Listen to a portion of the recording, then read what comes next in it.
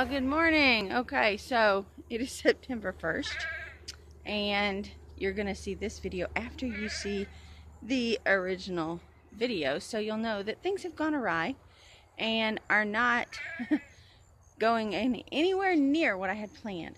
The windows down in the car and the dew got all the seat wet. Um, the baler still broke down because Lee didn't go where he was supposed to go yesterday and take care of it. So now another guy's going to try and fix it today. Um, he's off his meds on a rampage. Goats got out, chased them around. Um, figured out nobody's filling the one water trough over here. Um, so yeah, I've scrubbed that. Got my little scrubber. Scrubbed that and filled it.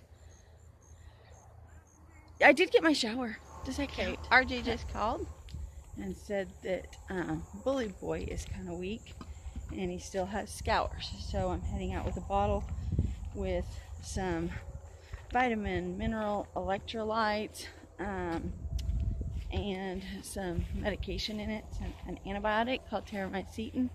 Um, and RJ's grabbing the cord and he is going to meet me out there and we're going to doctor some calves.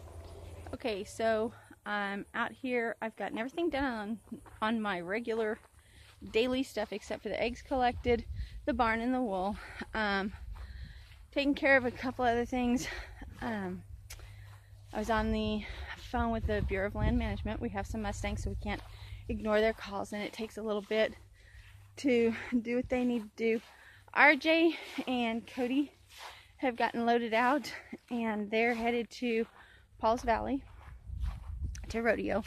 And I am on B'Day Watch. As any of you that follow know, B'Day is our cow and it stands for B apostrophe D-A-Y, meaning birthday. She was a birthday gift to RJ back in 2009, maybe a little older, I don't know. But I'm gonna turn the camera around and I will show you why we're on B'Day Watch. She's got some mucus discharge. We got her sprayed, but that means I'll be coming out here a little more often and checking her. So let me turn the camera around. It's B'Day B'Day. You gonna let me see? Huh? She got fly sprayed today, so hopefully the flies will leave her alone. Let's see here. Her bag is getting full. And she's got some discharge there. Um, we're hoping any time now. So we will keep you advised. She's got, um, we've already set up her pen. There's Mr. Zebu. Um, we've got her pen set up. Uh, okay. And while I'm out checking B'Day B'Day, I will take this opportunity to do one of the several um, getting a poor boy up. So, ah, big boy. Come on. What is it? RJ calls him Gordy. I call him poor boy. Come on, poor boy. Let's go. Yes, it's looking good. Yeah, there he goes. And as you can tell, he can get up on his own. Come on. I know. I know. Yes. I know. And I don't have a bottle. Come on, let's move. Don't spin that way. There you go. Good boy. Come on. Let's see. Everybody else is over here hiding. And we pretty much just move him, make him walk around get circulation to that leg back in it. He starts out kind of flopsy and then it'll start to drain and then he'll um, feel better. And see now he's putting weight on it. To harvest from the ladies. All right, I'm gonna get off here because it takes two hands, especially for some of these that want to yell. See?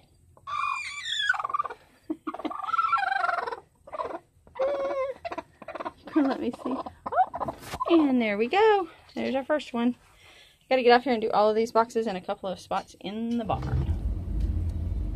Okay, so Lee forgot to put in his hours at work and he has to go over and do that. It's 45 miles away.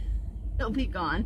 Um, I'm going to go out and I've gotten most of my daily chores done, hit and miss here and there, plus all the other things that have gone on, plus checking the day. But I'm to go out and haul in, hopefully, the last of the hay that is already baled up. Um, by then, we're hoping that Lee has the baler fixed and can get on it and bale the rest of it so I can get it hauled in. Okay, I've got my handy dandy water, my tea, and my trusty hay hook. And I'm out here in amongst the hay.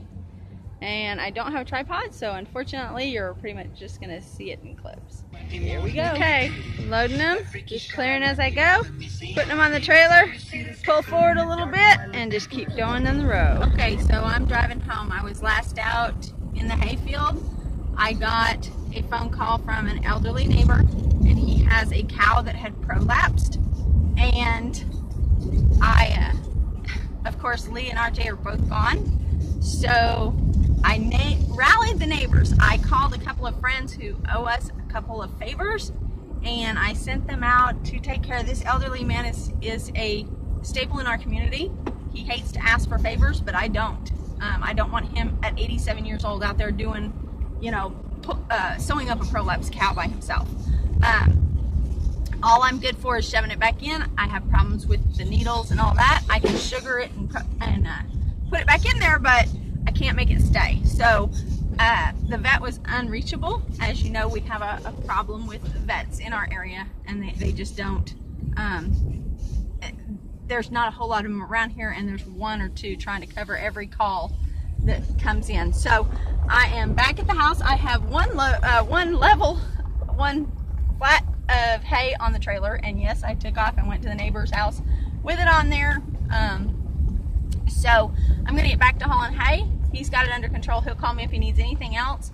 Uh, but pretty much all I managed to do is rally all the neighbors and get them together and to help this man. So I'm back in business doing the hay.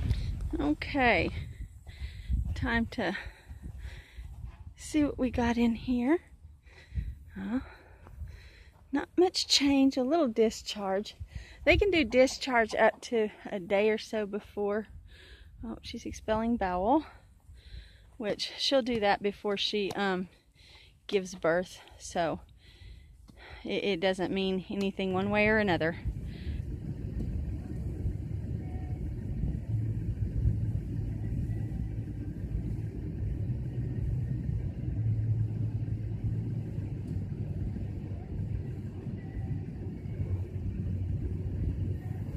All right once I get a load, I back it in the barn and I'm gonna have to have Jethro move.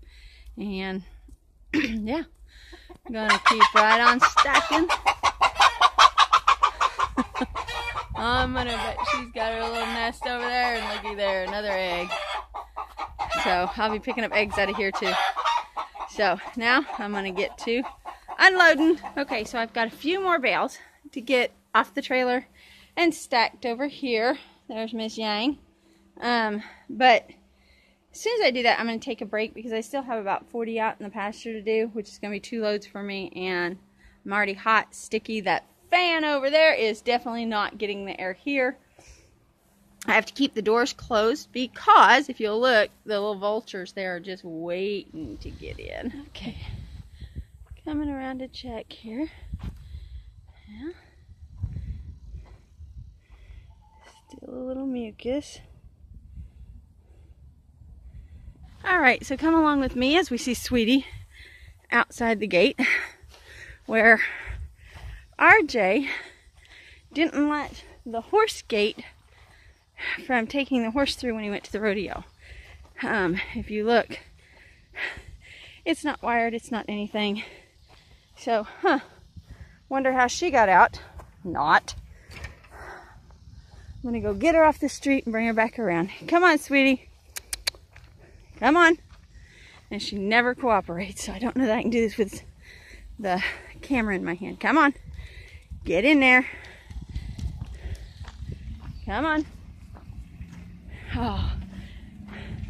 of course she wanted to make a liar out of me. I'm happy with that. Yeah, what are you doing out? So, I'm gonna wire this gate shut like it should be. And then I'm gonna go in and get me something to drink. Okay, so I'm headed out to the pasture in the car this time because Lee needs the car to jump start the tractor. And then I will be walking my little keister back to the house which is an eighth of a mile. So I will, two eight, three eighths of a mile, three, I don't know. It's too far for me to worry about, but I'll be walking back. So it'll be a little bit. It's probably six o'clock and it just dawned on me that I have not taken time to eat anything. Um, because if you remember a minute ago, I was going to go in and get a break. Yeah, that's not happening. So, um, and of course, I've got plenty of dogs to help me. And plenty of gates to get through. So, I will be back in just a little bit. Well, you might join in on the walk home, see what happens. Okay, so this is a much better view. Um, we're almost to the back. That's exactly one half mile from the house. So I will be hiking a half mile back up to the house so that I can continue my work. Okay, so plans have changed. I've I'm taking two seconds to make you a video. I have, it has started raining and I have quite a few bales to get in off the pasture. I am working my butt off here. The next round of rain is supposed to be at one o'clock, so I am going to work right on through, haul my butt to get everything off this pasture and try and save the hay. Okay, so guys, I'm out here in the field. We have a break from the rain, and we're gonna do what I call flip and tip. There's no way I can haul in all these that he baled without checking the weather first. It's better to save the hay that's flat, and I'm gonna save all these bales they're to be discolored if it rains on them, but I will save them all. We're to go around. We're to make one round around the pasture. Everything will be um, either hauled in or set in a teepee. And I'm to walk over there and try and show you one teepeed. I don't know if you're going to be able to see it because it's not going to have like the light. I don't know how to do this. Okay, Let me try this. So I've got my little light on. This is called teepeed you put the two wires out and you TP them up against each other. There's literally hundreds of bales and you can tell Leah's, well I guess you can't tell because you can't really see, but we're gonna make them all like this or haul them all in this trip. So it's gonna be a long trip, but we're gonna get it done and we're gonna save every one of them. Okay, it is 1140, 1130, 1140, someplace in there. Um, I'm giving out and the only thing I didn't get done today was the wool and I didn't get all the hay moved in but I got it all teepeed so um, it's gonna be fine uh, the rain. I hate to say this, but I'm hoping it doesn't come. But if it does, everything will be fine. So I'm headed off to bed. Night all.